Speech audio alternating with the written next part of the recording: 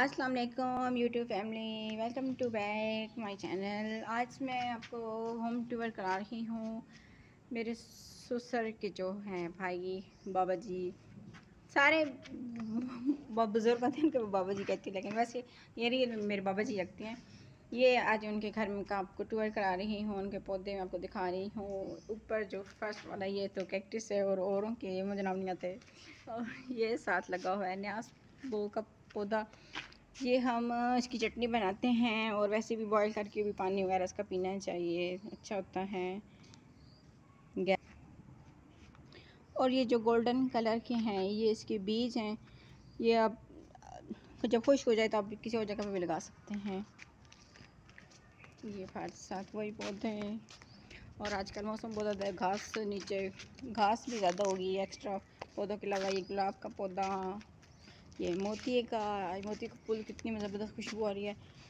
और ये मीठे, जो मीठे माल्टे कहते हैं, ये उनका पौधा लगा वैसा छोटे छोटे भी तक लगी हुई हैं।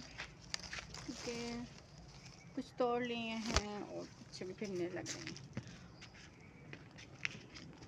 तो ये बड़ा कैक्टस और साथ नींबू का ये वो बड़ा कैक्टस है जो सहराओं पे लगा हुआ है ऊँटों के लिए। और साथ नींबू का पौधा इस पर नींबू लगे हुए हैं माशाल्लाह माशाल्लाह बहुत अच्छा लगा हुआ है। ज़्यादा सबसे ज़्यादा मैं ही तोड़ती हूँ।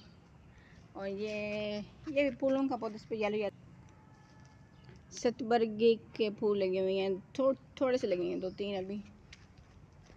और साथ ये है है तो अमरूद का पौधा लेकिन इसके ऊपर लगी हुई है अंगूर की बेल लगी हुई है। ये भी अमरूद मैं ही ज़्यादातर तोड़ती हूँ। हाथ से तोड़ के फ्रूट खाने का अलग ही मज़ा है।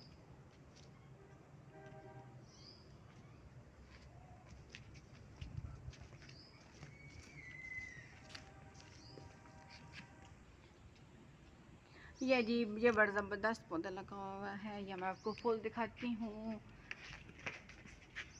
ये भी ये हमारे भाई का ही रूम है, जो तो उनके घर, रूम के बाहर ये डेकोरेशन वाले जो एरिया बना हुआ है, पौधे वगैरह बहुत ज़बरदस्त लगी हुई हैं। इनके नाम तो नहीं आते, लेकिन हम लोग ज़्यादातर डेकोरेशन में ये इस्तेमाल करते हैं। ये वाले जो है अभी हम रिसेंट हमारी कज़न की शादी हुई थी तो उसकी स्टेज बैक स्टेज पे हम लोगों ने ये वाले इस्तेमाल की हुई थी, जिसमें छोटी छोटी मारने लगी हुई हैं। ये देखिए, ये बड़ा ज़बरदस्त। वैसे तो इसमें होती हैं, ये तो फ्रेश है वैसे। नकली जो होते हैं, वो यूज़ होते हैं। और ये नीचे लगी हुई है बेल। और ये इस तरफ़ लगा हुआ है नीम का पौधा। ये ये देखें, ये एक साथ केयर भी करते रहते हैं, सफ़ाई वगैरह तो ये बड़े अच्छे लगते हैं ये भी एक और ये भी बड़ा ज़बरदस्त पौधे लगा इसमें छोटे छोटे पर्पल पर्पल कलर के फूल लगे हुए डेकोरेशन। ये भी इसी का बहन भाई है, ये इस भी पर्पल पर्पल फूल लगे हुए हैं, ये भी बड़े प्यारे लग रहे हैं इसमें।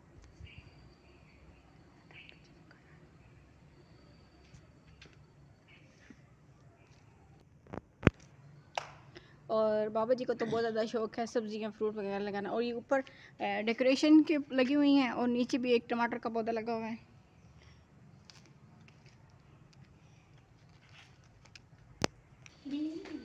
और ये साथ में आपको दिखाती हूँ दूसरी हवेली, क्योंकि हम लोग के बड़े बड़े बहुत से पौधे, पोषण वगैरह हमने बनाई हुई हैं।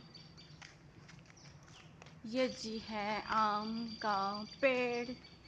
अभी तो इसमें आम ख़त्म हो गए हैं, क्योंकि आम अभी लगने का मौसम है और थोड़ा दरमियान का ये आया था, जखर, तूफ़ान वगैरह इतना ज़्यादा आया था। सारे बेचारी अमियाँ टूट के गिर गई। ये देखना। बेचारी नीचे गिर के मर गई ये मरी हुई गिर गई। और साथ आपको ये साथ है माल्टे का इस पे जो रियल माल्टा होता है ऑरेंज माल्टा, ये वो रखते हैं इस पर इतना माशा माशा फल लगा हुआ है और इतना ज़्यादा होता है पूरा सीज़न ये थोड़ा थोड़ा खाते रहो, ख़त्म को नहीं होता।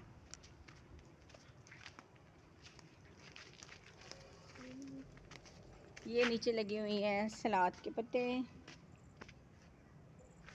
और फिर, ये फिर एक गुलाब का पौधा है। ये साथ लगी हुई है भिंडियाँ। छोटी छोटी साथ अभी तक लगी हुई हैं। भिंडियों के पौधे, फूल, ये इस पे भिंडियाँ लगी हुई हैं।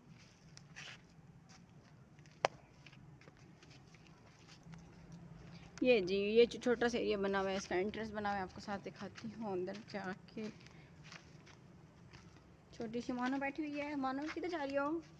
मानो, हमारे ब्लाग में नहीं आना भाग गई है। मैंने ये जी, बाबा जी ने रखी हुई है फ्रूट वगैरह तोड़ने के लिए, ऊपर से। तो इससे इजीली फ्रूट हम तोड़ सकते हैं। दरख्त के ऊपर बांदरों की तरह चढ़ना नहीं पड़ता इसलिए। ये माशाल्लाह माशाल्लाह, रेड रेड टमाटर लगे हुए हैं। और आगे फिर एक और पेड़, आम का पेड़।